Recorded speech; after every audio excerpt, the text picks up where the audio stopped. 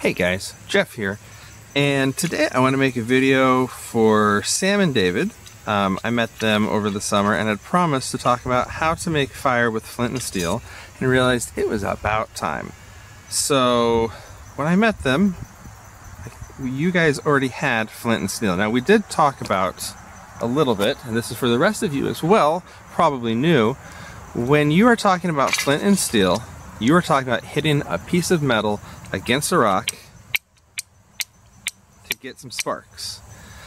Now, when you're doing that, your rock, most people focus on it needing to be flint or chert, but really you just need a hard, sharp rock. I've done this with quartz or anything else like that before. If you can break it and get a sharp edge, the more important part is your edge. You want your edge to be sharp, and when I say sharp, I don't just mean like you might cut yourself.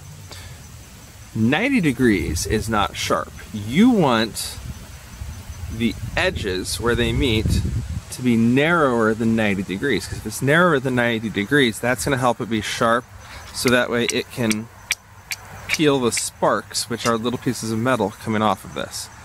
However, that is not the only thing you need for making fire with flint and steel. Uh, one of the most important things you need is called char cloth. Char cloth is when we take some natural material, typically something like cotton. Most of mine, you might be able to see it there, is made from blue jeans.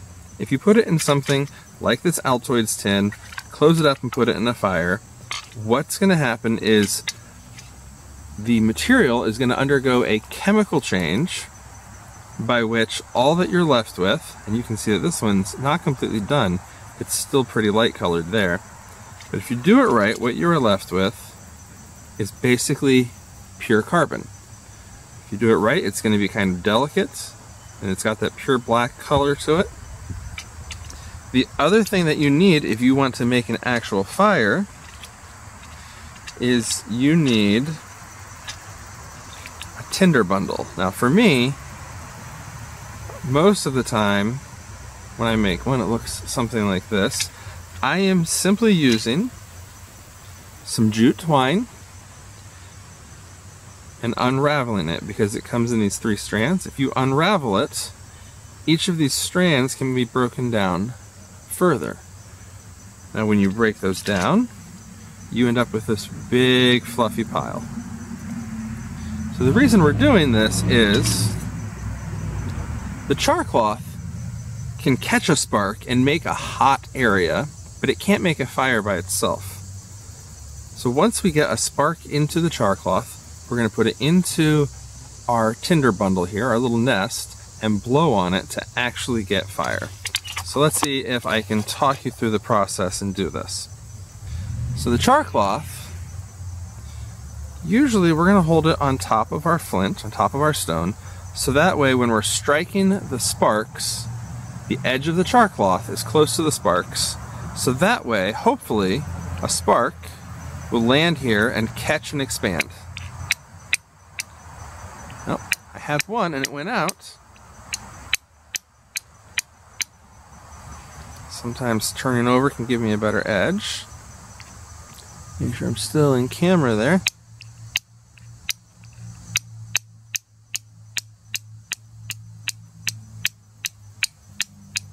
And notice that I'm striking with a glancing blow to peel that off. Now can you see that?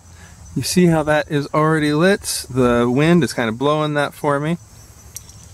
So because of the fact that this is just that piece of carbon, it's going to expand and it's going to get really hot. If I'm not careful, I'll get my fingers as well. So we just want to put this inside of our little nest. And the heat from that char cloth is going to hopefully make this nest catch on fire. So if I just give it a little bit of a breath,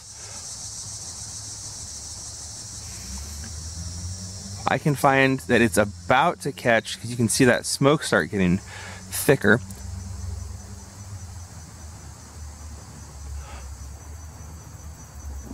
And there we go.